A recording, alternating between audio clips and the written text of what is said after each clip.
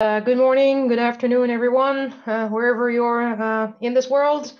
Uh, so here, yeah, for the next um, 50 minutes or so, we're going to talk again about uh, OWASP uh, API threats, and and this time we, you know, decided to also relate it a bit more to um, what 42Crunch is is doing, but um, as you will see, there's a lot of information also in the presentation about, you know, the, the type of problems that are described in, in OWASP top 10 in general, and how to address them with 42Crunch in particular.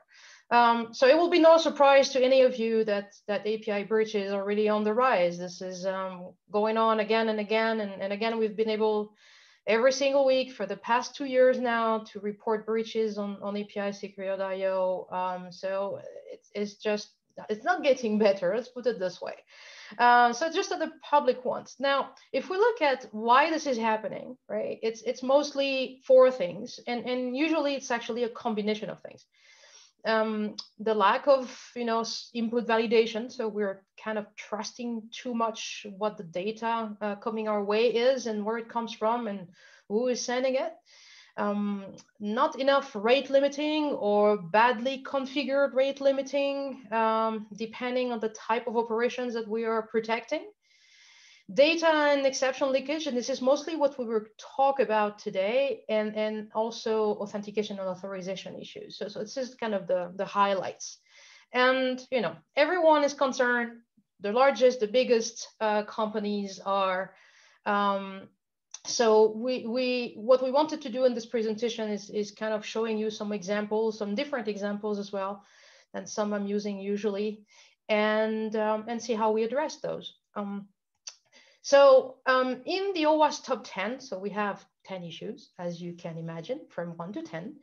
Um, and as we said, this webinar is a two-part one, um, just to make things more interesting. Instead of saying we're going to do 1 to 5 today and 6 to 10 next time, uh, we're going to do something a little bit different. We're going to talk first about anything related to data and systems. So anything you see here in orange, so that's excessive data exposure, API 6, 7, 8, and 9. And the ones in white are the ones we will be covering next time, okay? So we're gonna focus today really on, on data access, data validation, um, and, and you know, why this is important in, in all those uh, typical breaches. Okay, so we'll start with the first one, which is API 3 excessive data exposure. So what does that mean? Basically, that means we're exposing too much data back uh, to client application through our APIs. Um, and, and the roots of that problem really lie in the change of architecture from going from an application structure where everything was done on the server side. And therefore, when we were exposing data through, you know, web service or any kind of API of that sort on the back end, we were just exposing them to another layer, which was also an internal layer. That would be like the, the, the application layer, our application server or something on the server side, not, not on the client side. So all this exchange was happening within uh, our enterprise. And then when we had the answer, we will send back some HTML, maybe with some JavaScript back to the client. But that interaction between you getting the raw data and you work with that data and you massage it and you and, and you filter it, etc., was happening on the server side. But now with APIs, all of that is happening client side. So we tend to have very, very rich clients. Should it be mobile application or should it be web applications? Which can actually uh, take the information and, and are powerful enough to do all this work that we were doing on the server side, but within the browser now or within uh, within our phone. Um, so it's it's not a surprise that this is actually very near to the top of the list of problems. And you can see there's a bunch of, you know, um, companies here that we have alighted for some reason. And actually, I, I read this on on, on a journalist page also, there's like, of those eight examples I have in, in there, four of them are dating apps uh, of different sorts. Um, so it seems like, you know, there's a lot of uh, attacks and, and problems in this type of applications. And actually, we're going to use one of them. Um, Grindr, Grindr, uh, uh, you know, um, one uh, as an example of, of account takeover. So what happened here uh, so this is something that has been reported by a gentleman called Troy Hunt. if you don't know Troy Hunt, you probably should. Uh, is a gentleman between be, behind uh, the I've been pawn uh, website, the one that allows you to check if your email is is somewhere down on on on the dark web has been stolen as part of some kind of breach. Um, it can also validate that your password has actually been is somewhere in in in those um, in the dark web as well and used for credential stuffing, for example. So a very very young person um, who has written this this. Uh, uh, report on, on how this attack is basically happening. And it's very simple. Actually, it, it's the simplest thing ever. Uh, all you need to know is the email address of somebody that might be on Grindr, and, and you'll be able to basically take over their account extremely easily. And the reason is um, that in the API call to do your password reset, the actual reset token, so when usually when we do a password reset, we generate a token. That token is sent through email to the user um, to prove that you know it's them who have done this request and only them can input that reset uh, token and then they can reset their password. But in this case, for some reason, uh, the reset token was actually sent back in the response of the API. So as you can imagine, then it's very easy. All you have to go is to um, the password reset page, put that reset token in, change the password, and you're that person. Um, and there's actually very delicate data on that application, as you may imagine. Actually, Grindr got some problems some years ago because there were um, leaking uh, uh, HIV um, uh, status for people on, on their on their site. Um, so, you know, very big problem here. So we really have to take care about our responses. And this is all about that. API 3 really is all about knowing the data that we are going to return back through our APIs and, and not only knowing it, but controlling it, right? So we, we, we have to be very careful to not send back information that is, and, and hope that the client is gonna do their job as they were doing before simply because I can open the, which is exactly what um, Troy did, open the dev tools in, in, in my browser and, and, see all this traffic uh, of the APIs. And even if they don't show up in the UI, it's extremely easy to go and, and to get to that data. So, and of course, in that data, we have to be very careful about not sending back tokens. That's the typical example uh, some sensitive data, some PII data, etc. So there's no really magic answer here in terms of, of uh, fixing these issues, except that we need to understand and, and control what is the data I have, how do I return it, uh, is that allowed in a response or not? So we need control, we need governance of that, of that information, right? Um, and there's another aspect to that that I always tell to, to customers as well is it's much easier, of course, to just have one endpoint and one operation that returns all kinds of data and that can be used in multiple cases. Uh, it will be used because I want to see the profile of the user. It can be used uh, because I just want to see a little part of the profile. So there's this very typical problem that Uber got where they were sending back 100 you know, lines or 150 lines of JSON uh, in, in an API that was getting the, the profile of a driver or any user of the platform. Like obviously no UI is going to show so much data, but the reason probably they're doing this way is then, you know, it's easier, whatever data you need, just make that call and you pick up whatever you want, right? So it is easier from a development perspective, that's for sure. However, we should really, you know, have various and APIs and endpoints and different operations depending on the data that we want to expose. And, and depending on who is going to consume that as well. Um, I don't know if you were on, on some of you were on the webinar that we did with Keith um, um, from Okta um, a few weeks ago. But one of the, the stories he always tells, and it's, it, this is very true, which is we start writing an API for internal consumption, so we don't care. We, if we expose all the data, it's just for us, right? But then suddenly over time, that same API becomes, oh, could it be cool if we expose that to our you know, special partners? And over time, it's going to be, oh, can, you know, this is really a cool API. Can we expose it to everyone.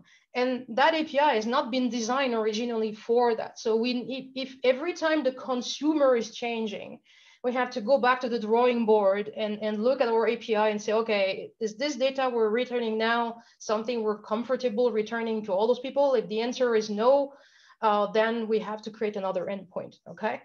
Um, and if any of you out there is doing um, and using GraphQL, uh, be careful there as well, because uh, you, you have to be careful to make sure that if somebody is asking uh, for some specific data through a GraphQL query, you don't return everything that they're asking for, right? So just control what is the data that people can ask for uh, through a GraphQL query, okay? Now, um, another aspect of that, which might be uh, over, you know, uh, not really um, so obvious, is JWTs as well.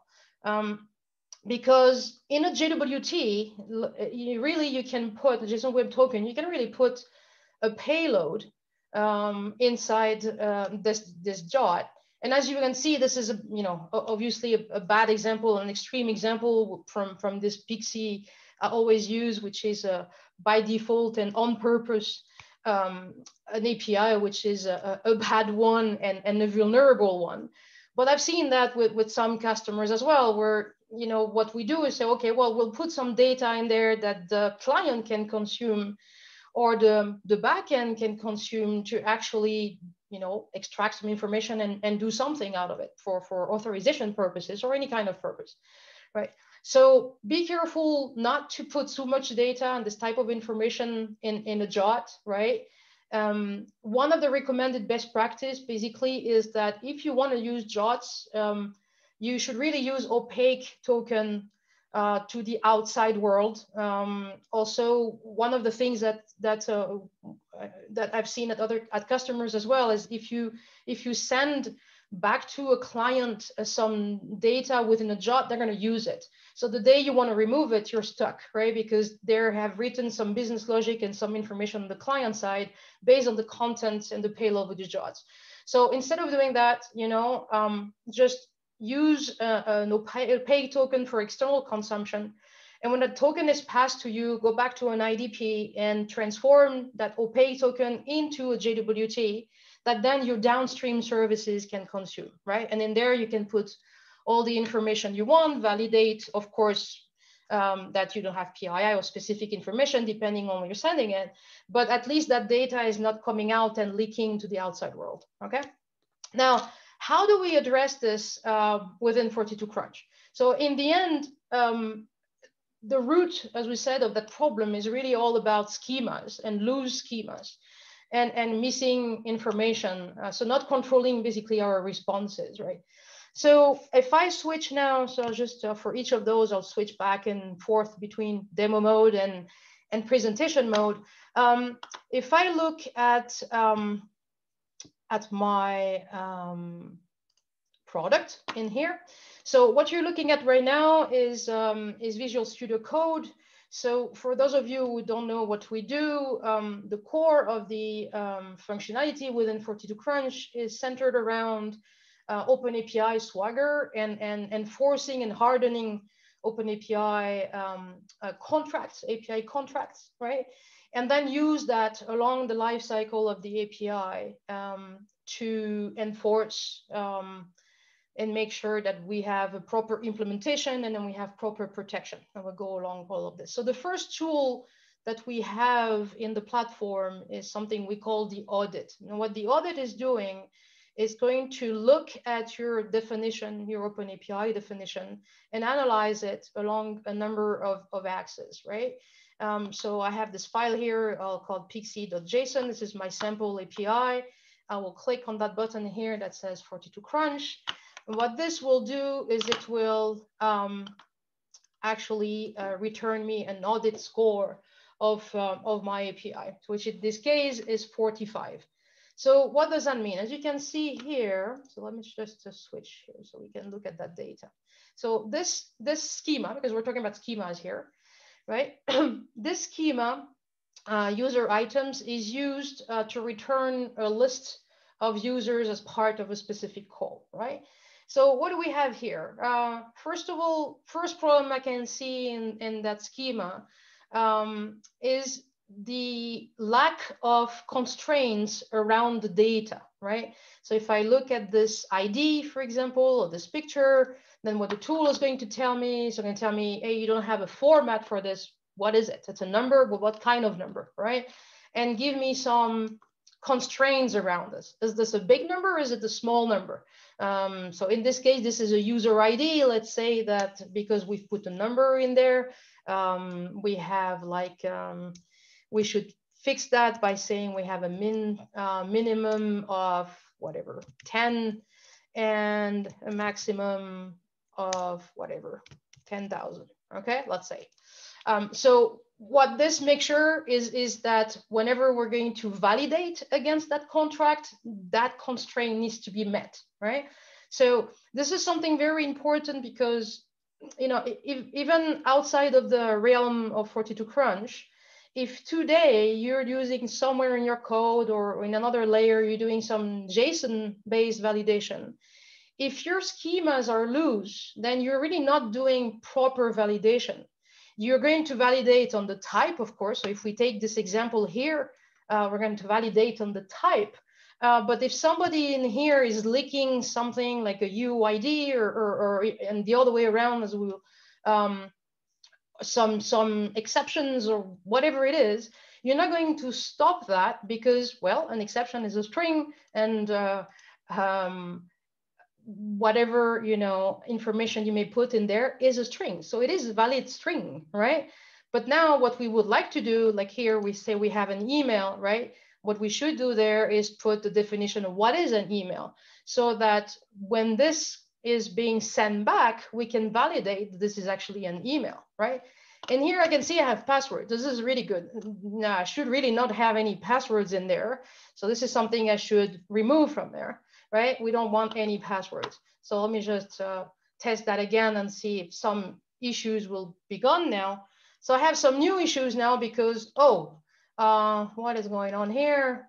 Hmm, it tells me, well, you told me there is a password as required, but there's no password in here. And this is very frequent as well when I do, you know, POCs with customers, I see that a lot, that they forgot some required stuff um, in, in the list that doesn't match the list of properties anymore. But again, this is not something that they're using properly, so they don't have a tool that tells them about this, right? So, well, no, we don't want, the only thing we want in here, for example, is an email, all right?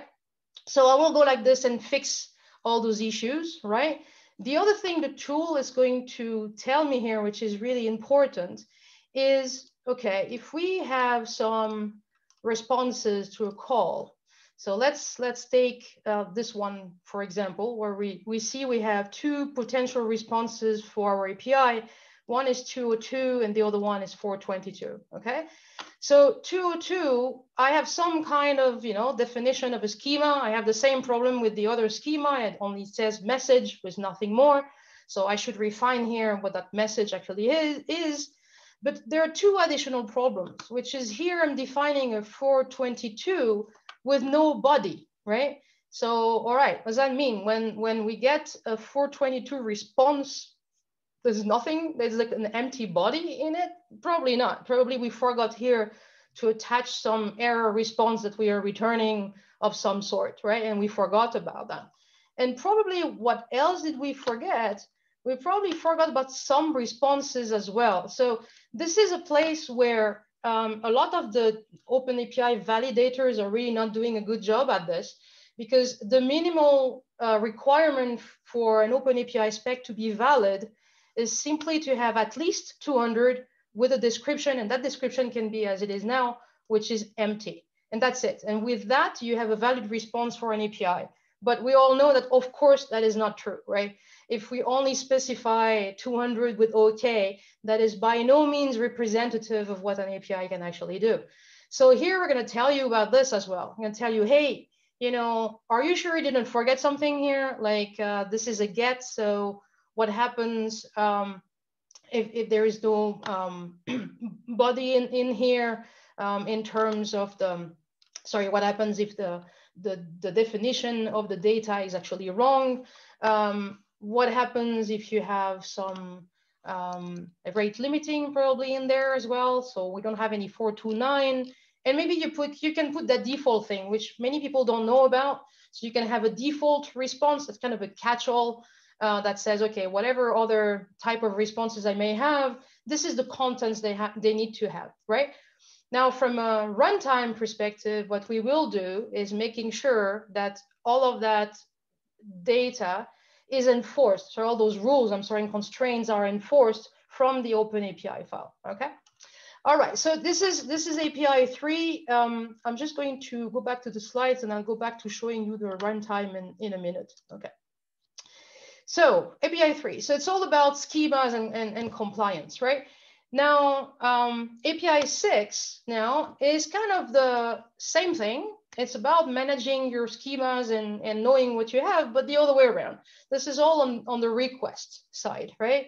Um, and this is typically, so the four companies you have there that got problems, they're very similar issues, which is to um, make myself like an administrator of the system by overriding a property I'm not supposed to be able to override automatically. So we'll look at uh, this example from Gator uh, watches. It's kind of a, a bit of an old one, but it's, it's a very impactful one because um, the consequences of this were extremely bad. Um, so this is a, a smartwatch for a watch for, for, for kids. Um, so it's supposed to be used for security. That's the main goal of it is you give that to your kids so you will know at any time where your kid is if, if something happened to the kid, right? And what they were able to do there from an attack perspective was to become an administrator of the entire system with an extremely simple thing, which is what the hacker saw. And actually, it's not, it's, it's the hacker had this for their kids, and that's how they, they found this problem. Um, the, the gentleman were looking at this, what he realized is looking at the data coming back from like a get profile user, right? You saw this thing called user grade set to one. And if you look at this list, it's, you know, you don't have to be very, um, it, it's pretty obvious that what they have been doing is taking all the data coming from probably a backend database and then create an, an piece of data from that directly. So that's what you have user grade, user nickname, user boss ID, etc., etc. right? So this user grade thing says, oh, what happens if instead of user grade one, I put user grade two, that didn't change anything. Say, okay, well, I'll try user grade zero. And he, came, became instantly admin of the system and was able to see where all the kids were, which is extremely dangerous. Um, so why is this happening? Usually it happens because um, it is too easy maybe to map a backend structure to uh, to, um, to an API, right? So there's a lot of libraries of frameworks out there which allow you to point to a database, create some, you know, API on top of it, at least some interface on top of it. And it's it's very easy. It's true. I, I mean, this simple API, this Pixi I'm using, it's using a, a MongoDB as a backend, and it's very easy. There's like two lines of code. You say, you know, get MongoDB, transform that into a JSON object, you stick that JSON object into that JWT, you stick it into a response and it's super easy to use. And same thing the other way around, right?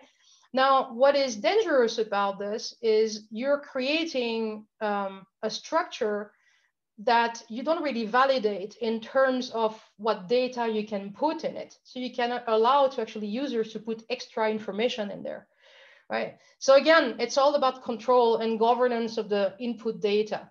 And, and one of the key things I would recommend here is really not to use the same data structures for doing an update than for doing a read, right? And make sure when you do a read, we'll back to this API three and six kind of go hand to hand. Make sure you don't return back to the to the client all the data which is in the database in the form of a JSON structure because this is extremely useful information for anybody that wants to exploit an API 6, okay? So we want to validate all inputs. That's really what uh, we want to do here. So as you can imagine, what we can do in 42Crunch on the response, well, we can do also on the request, right? And now I'm going to show you, uh, so it will be exactly the same functionality in terms of the audit. It validates equally the data coming in, then it uh, validates the data coming out. Um, so we have the same report and the same problems on that user registration data than we would see on, on this response that we were looking at before, okay? So in terms of the firewall and blocking things, what does that mean? Uh, so behind the scenes, what we do is we take this OpenAPI Swagger file and we directly create a configuration for firewall from it.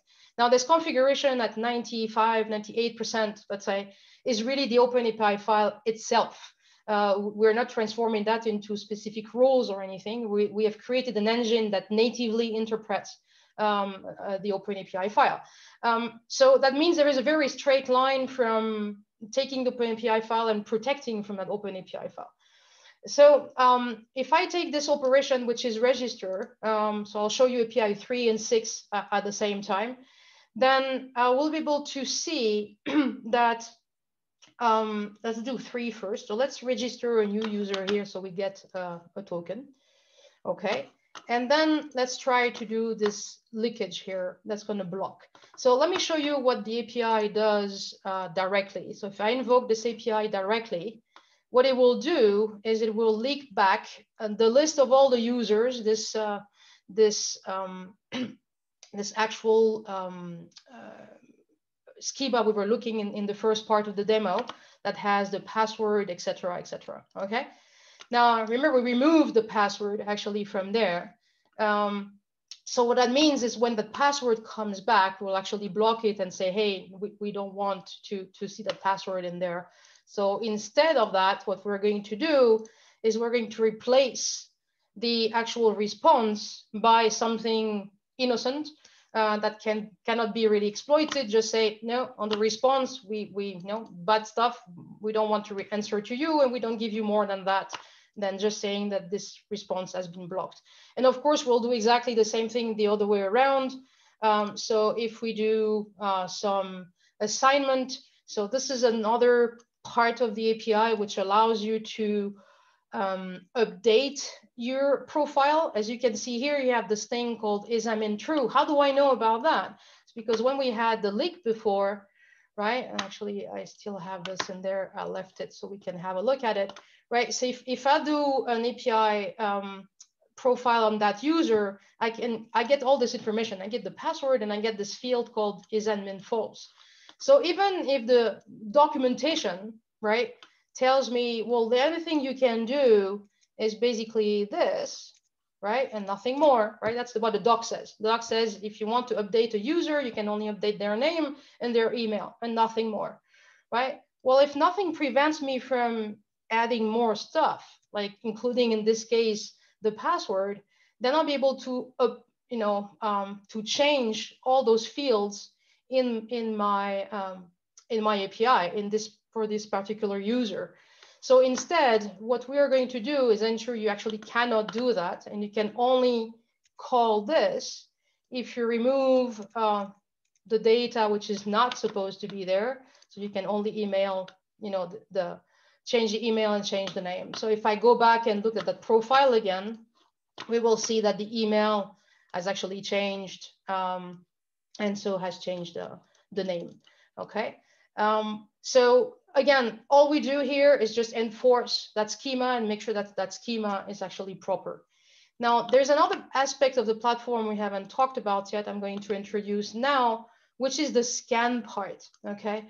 So when we do the audit, what we do is a static analysis of that open API file, not, not uh, a dynamic analysis. We don't even know where the API actually is, right? So um, what we are going to, um, sorry, so what's going on here? All right. Um, what I'm going to show here is if we look at that report now, what is the scan doing? What the scan will do is it will automatically involve in um, um, it will automatically call the actual API. So you give me an endpoint to invoke, and it will start to hammer the API with all kind of bad requests and bad data to see how that API actually reacts. Um, and, and one of the things we do as part of that is to, for example, making sure if you told me this is my data that comes in in register, we will um, not put some data, on the contrary, try to inject some extra data. And also we will validate on the responses. So here's a very good example of that. Um, one of the things we'll do is we'll invoke the API within proper data. So this register, it's expecting a JSON structure. But here what we're doing instead is we're invoking um, this API with just a Boolean right? So it's expecting a full JSON structure, but all it gets is, is this true Boolean thing. That's it, right? And then what happens? Well, it's not too happy. so it answers to that question saying, nope, sorry, can't do. Uh, here is the exception. And it returns all the exception back to the client, which is exactly what we don't want. And is the type of tests that we want to do early so we can detect this type of problems. So when the response content type doesn't correspond to the schema that we're expecting, or when the schema itself, does, the response, I'm sorry, does not uh, match that schema, will flag that as a problem.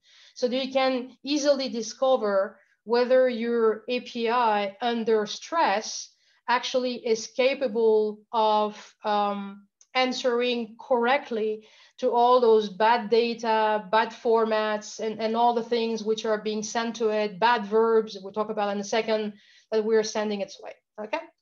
So that's the scan part of it. The, typically the thing you would do at testing phase and Q, QA phase. All right, what's next?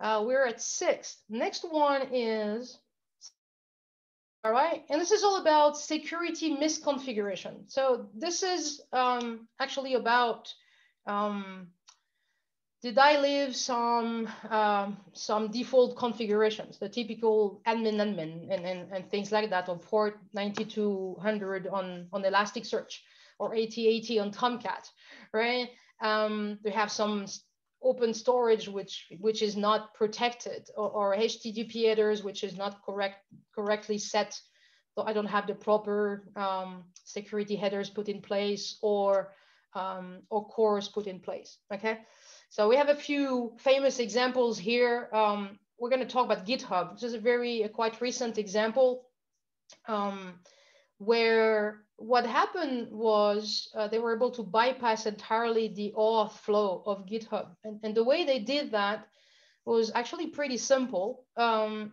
they sent a head request to the API, and that was not planned. So that is, that's not part of the API official set of verbs that you can actually use, right? but it's it's there. It's something you you have in there. And why is it there? Because the underlying framework that they use to to create their app uh, which is rails um, actually has a default behavior for verbs that it doesn't know about right? And and that is something that i see in, at, at many customers as well. Um, and i'll show you that in the scan in a second that the actual api um, you may not know from as a development from a development perspective you may not know what the behavior of your api will be if you start invoking it with the wrong verbs right? Um, so you know in terms of setup first of all we should really just reject anything that we don't want right? So anything which is a non-path non-verbs we don't want that right um, I really hope all of them, all of you have TLS on by default. Don't leave anything open with no TLS out there. Um, make sure you have TLS one, two, very strong Cypher suites with it, not, not basic ones. So you can force that on, on, on most of the, the, on most of the systems. Uh, test your endpoints. A lot of people are using SSL labs to test their websites. Uh, you should really point this to your API endpoints as well. Change all the default stuff. First thing you should do, automatically inject some security headers um, somewhere in the flow. So you have all those uh, protection uh, headers uh, in place, right? And then there's this whole aspect about um, maintaining your system to the latest level. So I'm, I'm a great advocate of this thing. This is really not something 42Crunch is deeply involved in, but I see so many problems around this that this is very important to say, right? Uh, you really need to make sure that all the libraries, all the images, anything you're depending on, which is not your stuff, you know, but that your API relies on to be executed is really at the you know, at the greatest and latest level of code um, and just to make sure you're not using a version from like six months ago or nine months ago that is that has some known vulnerabilities and if they're known they're known to everyone and that includes hackers. So once they you know define and find what you're using it's going to be very easy for them to exploit those existing um, cves that you have in there right? So just make sure that you you are always up to date and test basically um, for vulnerabilities in a, in a continuous fashion, right? And there's a really great article. I really encourage all of you to read that uh, on how by simply allowing um, a poison Docker image inside a Kubernetes cluster, if that image allows you to have a backdoor, um, they were able to basically exit that, that container to get at the node level and from there getting access to all the other containers that were deployed inside the same cluster. I'm, I'm summarizing, summarizing quickly here, but it is, it is fascinating to see what the impact of having a bad image can have, especially in this case, if you're using a shared environment. Um, so remember that when you're in a cloud, if it's a public one, you're, you're next to a lot of other people. Uh, so if somebody got attacked, that's also a problem for you. So you, you have also to be careful there. It could become a problem for you. Um, so um, how do we address this? Well, basically, this is all about you know testing continuously um, the the actual um, security of the system, right?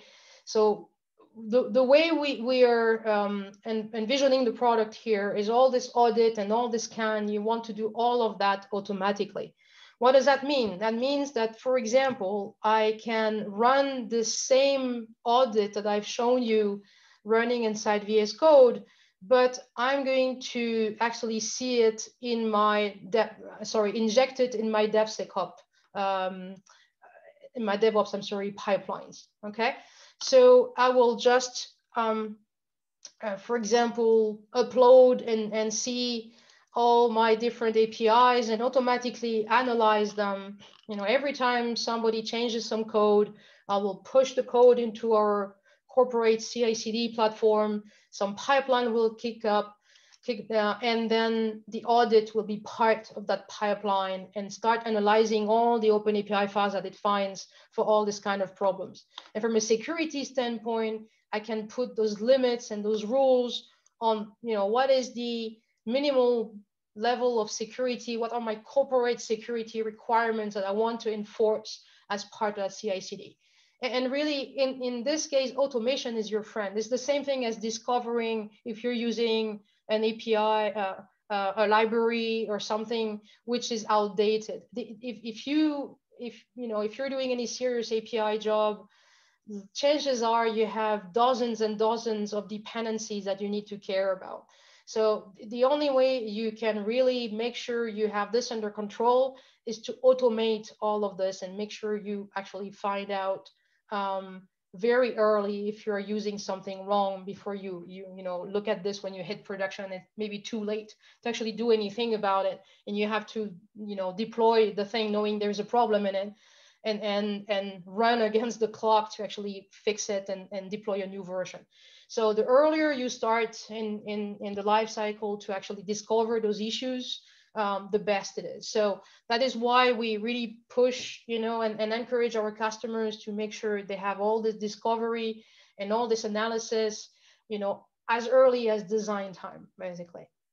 And in terms of uh, configuration, uh, we'll actually uh, inject and remove um, specific headers uh, as well. As you've seen, the error messages are very safe they don't have much information. In the next version, the next version, in the next part uh, of the webinar, we'll talk about uh, logging and monitoring, and I'll show you those, you know, how to track back uh, this logging mechanism and, and how to create some beautiful dashboards out of that and, and create alerts out of it.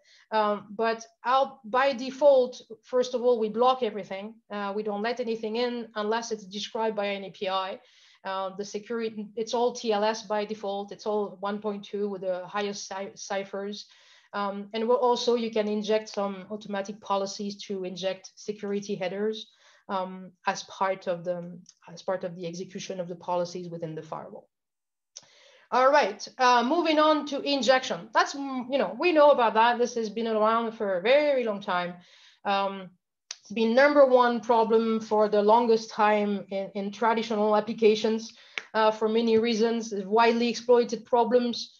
Um, so I just took um, a recent one I found on, on HackerOne on, on the platform um, from Starbucks from, from last year, where basically, this is a pretty nasty one actually, um, where um, they were able through, you know, just SQL injection, they were able to get directly to the backend production database um, and start executing shell commands on, on that database server. So they've been really nice uh, to just do a ping and nothing more, but they could have pretty much wiped out the entire database or got all the data. That was a pretty, pretty bad one. Um, so why is injection happening, right? Well, back to the same thing. It's about validation. We all know this. There's been a, a cheat sheet on OWASP forever on, on how to how to mitigate injections. This has not changed for APIs. It's all about um, validating the content, um, including headers. So the, the infamous Equifax, which is there as an example, the injection came through and the remote command execution came through um, a, a, content type. So just be very, you know, careful about the input that you're um, accepting, um, and and and check the the um, the behavior, yes, of your of your frameworks again on that content type thing. Um, and again, this is back to also the bad verbs and stuff we'll talk about. We were talking about um, your dev frameworks are have some built-in logic uh, on, on, some of the, you know, the um, how they react to certain type of, of bad data and and uh, uh, being being sent their way. And in that default behavior, you need to know, right? And, and again, the only way you're going to need to know you sorry the only way you're going to know is if you test it yourself and that's why we're providing the scan so it does all those tests for you automatically including sending an improper content type for example right um, so again we're back to loose schemas and data definitions so this is now also at, at the parameters level and the headers level. So we'll just test all of that. And again we'll flag all of those as part of the audits that we have seen before. Uh, so it's not only about the, the schemas, it's also about any type of data flowing through the API, right? And as we've seen uh, before, we're gonna send all these bad data formats and data types also to headers and any kind of parameters behind the scene, not just the schemas, but anything within the API that is being used uh, to pass some data in, okay? And, and as you can imagine, um, one of the side effects of the approach that we are taking actually is um, because we are interested only from our point of view in what the API actually does, right? And not so much about uh, the attacks around it, where you're focusing our efforts on making sure we describe as well as possible what is the traffic that we're expecting which basically means something like this, which is a NoSQL injection, very basic one, but just to show you an example. Um, I actually cannot make that call because this, this part here does not match in terms of the structure what the actual login is supposed to be if we were doing this properly, which is this one, right? Where we'd have a pass and a user and the pass and the user. So this, this is not matching that definition and therefore it is being rejected, right? And, and the same thing would happen if we were going to put some injection or any type of data like this inside any of the fields uh, because they just don't match what we actually expect. Okay. And finally, API 9. So this is all about uh, improper assets management. Um, and um, here, there's multiple examples of that. Basically, it's all about leaving some stuff up, um, debug endpoint, testing endpoints, um, deprecated endpoints, and, and we forgot to remove them, right? So they're still there, or we have some beta endpoints um, we're going to talk about for, for Facebook, right? Um, and, and one of my favorite one is this Venmo thing. So I don't know if you know about, about this, but um, I was looking at that before the, the webinar. So those guys got hit many times by the fact that they actually um, are exposing, and, and, for some time it was really bad. I don't know if any of you here are using Venmo, have been using Venmo, where you can see, well, that Mark K has given some money to Erica M on that date and, and is missing her. Okay, well, I guess, right? So this, this, you know, made the payment, it tells you when. They have removed some data. There was a point where there was the full name here instead of an anonymized name. Um, to the point that something like a year and a half ago, a guy wrote um, a Twitter, an automated Twitter, um, every time somebody was buying drugs. Um, so they would put some, you know, key codes or whatever it was in all those transactions. So it would tweet the transaction every time somebody was buying drugs through and paying drugs through Venmo. Um, now, if you're, you know, if you look at this closely, you will see that this date here is the second, second 2020, which means like since February 2nd of 2020, it seems like Venmo has stopped filling some transactions into there. However, that endpoint is still there and alive and answering to me. So for me, that's a very good example of I can call that API. If it has some problems, I'll be able, able to exploit it. I don't know. Uh, but that's typical the things that you don't want to do, right? If, if there's an API that apparently they are not maintaining because there's been no data in there for the very long time, uh, then you know they should just remove it from there, and I should not be able to access it, right? Um, now let's talk about Facebook in here. So see what happens to them here. Um, so the problem Facebook got with this was on password reset, right? So basically there is a a rate limiting on the password reset on the facebook.com API, but there is no rate limiting on the beta version of it.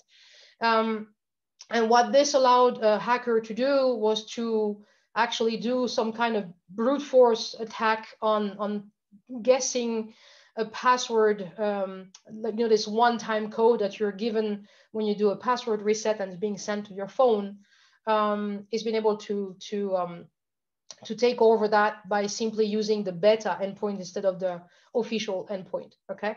So why is this happening? Um, basically, again, because we have to, we forget about some endpoints. Uh, it's back to a governance issue again. We really now have to know what is it that we have. Um, and API discovery is a big problem for many of the large customers that we are working with on what do I have? Where are all those endpoints that I'm actually using, right? if you're a developer, please don't don't deploy some stuff like this with no control. Um, it, it is really a it will become a problem over time. So all of these endpoints need to be known and governed. Um, and and then you know we tend to say, okay, we're going to protect this protection, the production stuff. We really need to protect every everything which is public and can be called from outside, could be a, a, staging, a UAT, QA environment. We may be opening that for some partners to test it or external developers, whatever it is. I see that all the time. Just apply the same uh, protection and the same rules to anything which is public. And by public, it means there is a public DNS or there is a public IP, not even DNS. There's a public IP uh, that is somewhere on the internet that people can find. If there is a public IP, it will be found, it will be invoked, it will be hammered with some bad stuff. That's the way it is. Okay, so you have to be very careful. And of course, separate non-production from production. That's also very critical. All right, now what do we do about this? Well, um, as we've seen before, we're gonna integrate this in the CI/CD pipeline. We're gonna try to discover all your APIs and put them under control and say, this is all the stuff which is running. So you have a single pane of glass of all your APIs across the enterprise. Uh, we'll test for this unknown verbs and unknown responses. We'll block everything that we don't know by default uh, from a runtime perspective. Now, if you want, you can put also the system in non-blocking mode so you can discover some traffic. So you don't block it, um, but we will report everything we would have blocked. So it allows you to learn about all that stuff. Um, again, this is something I'm going to show it to you because it's interesting from a monitoring and logging perspective um, in, in, the next, um, in the next session. All right, and we are coming at the end uh, of the session. Um, So just as summarizing, um, I just wanted to give you some thoughts on what our philosophy is, okay? So in the end, we, um, we're a bit different than, than many of some of the API security companies and threat protection companies which are in the market uh, today.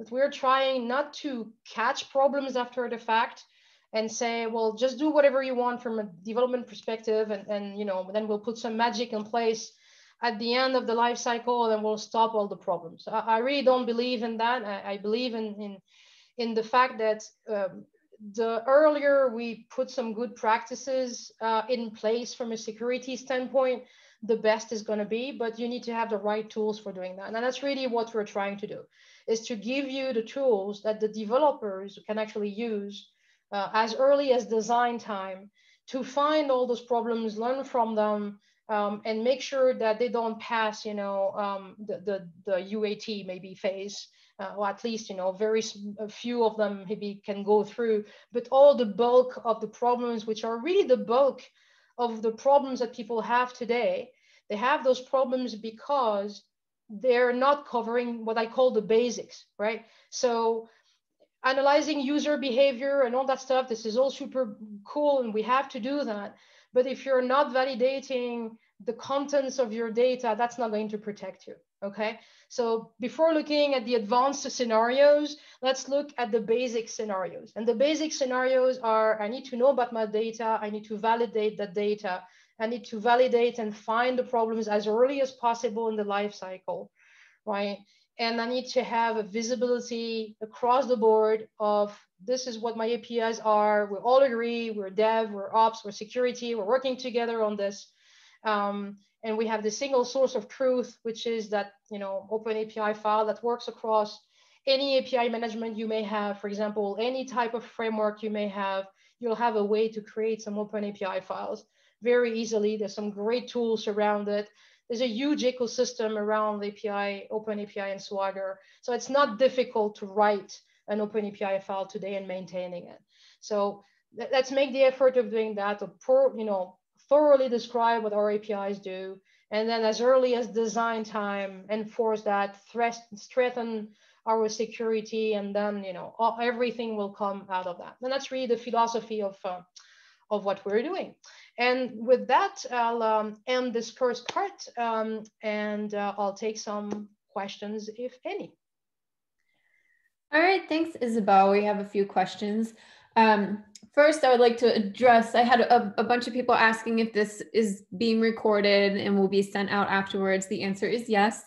This will be ready later today, my time, so Pacific time. Um, I will get it up on the website and make sure all of you are sent a link. We'll also have a link to the slides as well.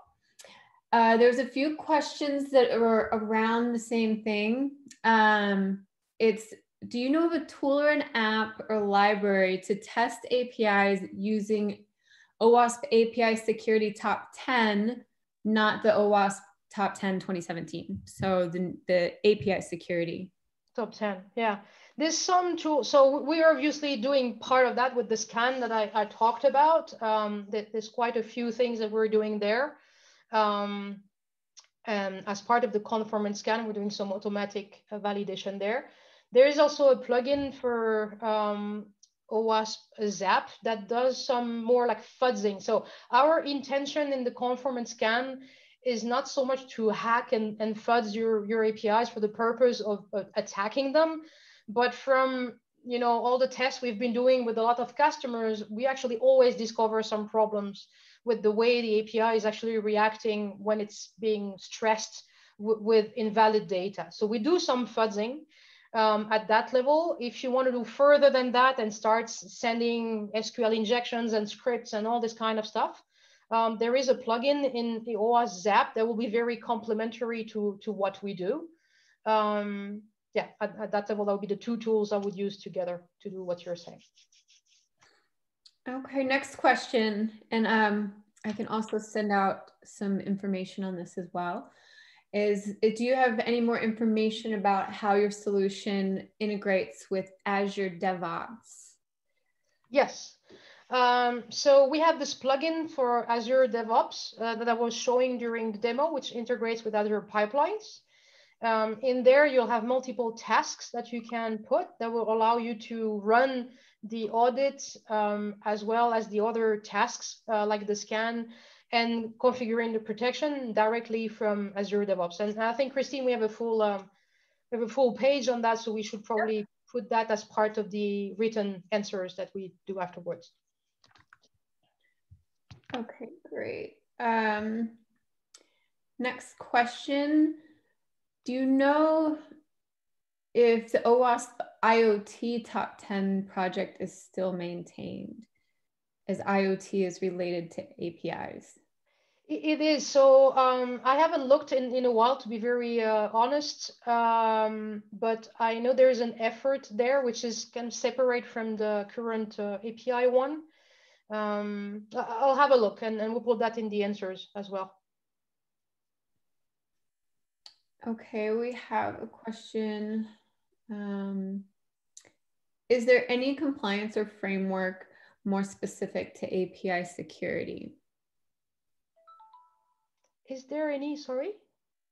Is there any compliance or framework more specific to API security? Uh, compliance framework, okay. Um, mm, like a formal compliance framework, not, not, not that I know of, no, but um, you know, maybe some somebody else has a, not that I know of, not something official like you know, PCI DSS or something like that. When I hear compliance, that's what I, I I'm thinking about. okay, and we have one more. This is an anonymous attendee, so we cannot, if we need to get back to you after this, we're not gonna be able to. um, do you believe that best practices equates to a guarantee of absolute protection? So I'm assuming they're talking about the OWASP API top 10. Yes. Um, so sorry, can you um, can you repeat that, Christine? I'm sorry. Do you believe that best practices, I'm assuming that they're talking about the OWASP API top 10, yeah. equates to a guarantee of absolute protection? Oh, well, if somebody tells you yes, they're lying to you. Um, um, it, it is so th- there's always um, 100% insecurity doesn't exist. Okay. So again, it's a layered approach. Uh, we've talked about this in, in other webinars where um, doing security and API security is not only about one thing, it's about so many things. It's about the underlying infrastructure on your system is running. It's about making sure your API is read written. It's re- making sure you're using the right libraries and tools. It's about putting the proper CDN and DDoS protection in front, right? So for sure, what I can tell you though, without going so far, what we are seeing from people we're working with is the main issue again is we're not covering the basics, right? So so eh, let's let's stop thinking about oh we could do this super fancy thing to protect ourselves. Maybe you know in in depends who you are as well. The risk for each of you is probably very different. If some of you is working for, you know, a, a, bank of the world and, and, and the other one's working for the open weather, it is not the same risk. And your, your risk of being attacked and the risk of who is going to attack you and how is very different as well. So this is not a one size fit all here. But what I would recommend first is, okay, what do I have? What are my APIs? What is the threat protection? Sorry, do a threat profile across all of that and then you know decide you know where are our weakest point do a review of all of this right? Depending on your risk. And from there then you can um, you know put the proper protection in place and cover the basics across all of that. And you know again it's all about validating data first. Inbound outbound control your apis control your schemas control your data if you do that, you're going to eliminate for sure, you know, 85 to 90% of the problems. And then you can go to more advanced stuff and do pen testing and manual pen testing and all these kind of things. That makes sense. All right, great. That's all the questions for today and for overtime by two minutes. So I want to thank you all for joining us. Isabelle, if you have any last few comments. No, thank you all. And I hope to see you again in, in a couple of weeks on Wednesday right? Christine? November 4th. on, on, Wednesday, which is a interesting, uh, you know, it's going to be a, a, fun day for anybody in America. And uh, um, and then we'll uh, and uh, we'll talk about all the rest, and in particular about BOLA and and authorization and authentication. That will be the theme for the next one. All right, guys, thank you so much for joining us, and we look forward to seeing you on November 4th. All right, you take care. Thank you, everyone.